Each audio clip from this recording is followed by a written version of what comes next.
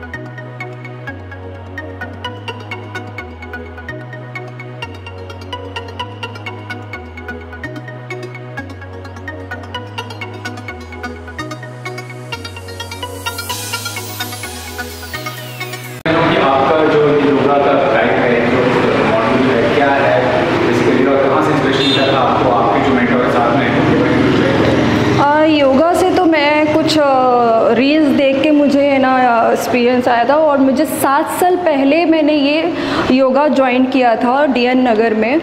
तो सात साल से मैं योगा जानती हूँ और करते आई हूँ। तो मेरा भी एक सपना था कि मेरा एक खुद का योगा क्लास हो, जो मैं लोगों को सिखा सकूँ। और योगा एक ऐसा आर्ट्स है ना कि हर इंसान को करना चाहिए आज की डेट में। ठीक है? सर, आप आपका क्या इंस्पिरेशन रहा? आपकी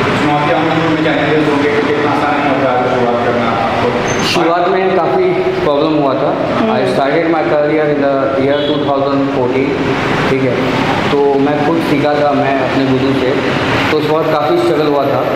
देन जब खुद सीखते सीखते गया फिर एक इंस्पिरेशन आया कि इसमें और अच्छा होना चाहिए कि पॉइंट आउट आया कि फिर सिखाने लोगों को लगा रिज़ल्ट आना शुरू हुआ तो उससे फिर एक और एक हुआ कि उम्मीद के और लोगों को हम अच्छे से गाइडेंस के और ये लोगों के अंदर और योगा का जो एक जो होना चाहिए अपने आपस में दिल में Motivation. मोटिवेशन है कि हर एक चीज़ लोगों के अंदर पैदा करना तो योगा मैं बोलूँगा लोगों से यही बोलूँगा कि हम डेली लाइफ के अंदर हम ये नहीं कहते तो कि- योगा के लिए दीजिए हाँ। ठीक है? हम ये नहीं कहते कि हमारे पास आके करिए एटलीस्ट आप जहाँ पे हैं जो कंट्री में भी। हैं। एटलीस्ट अपने लिए एक घंटा निकालिए और योगा करिए। योगा से बहुत सारे बेनिफिट है। आप एटलीस्ट हैं। हाँ। तो आप इंस्पिरेशन कह रही है पर जो इस प्रोफेशन के लोगों को कितना ज़रूरी होता है? क्योंकि तुम यंग दिखना है मलाइका मैं को देखिए हाँ जैसे कि आप 40 के हो तो योगा से क्या होता है 30 के दिखते हो 25 की एज के दिखते It's a 90 age. हो हाँ 90 एज दिखते हो।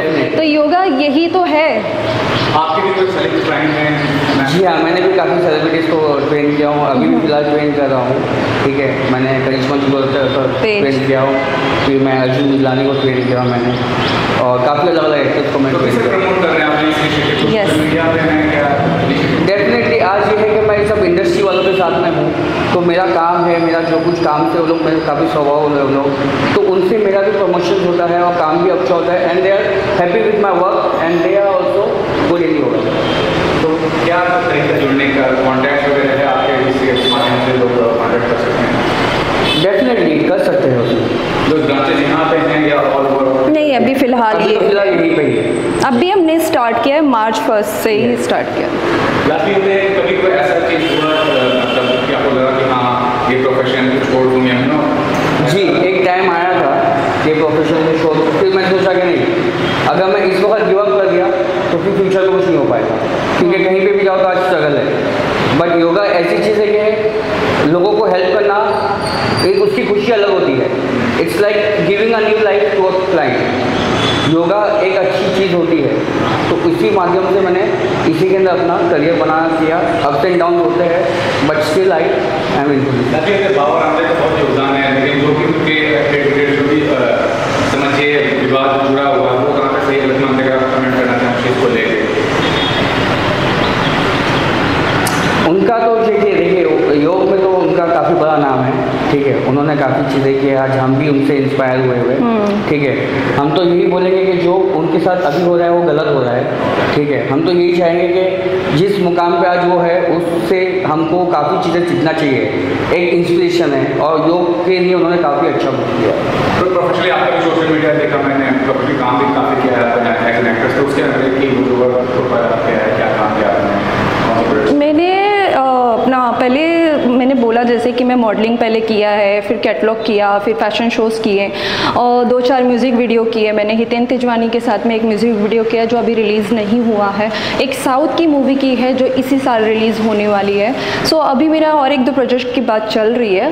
बट अभी फ़िलहाल मेरा मोटिव उस चीज़ पर नहीं है इस चीज़ पर क्योंकि ये मेरा लाइफ का फ़र्स्ट काम है जो मैंने स्टार्ट किया और मेरा ये सपना था। तो मैं और मेरी पार्टनर ने मेरी फ्रेंड ही पार्टनर है मेरी जो अभी आज नहीं आ पाई है। नहीं तो उसका भी इंटरव्यू मैं करवा देती। तो हमने सबने मिल ये प्लान किया कि हम चालू करते हैं तो ये चालू किया योगा क्लास थैंक यू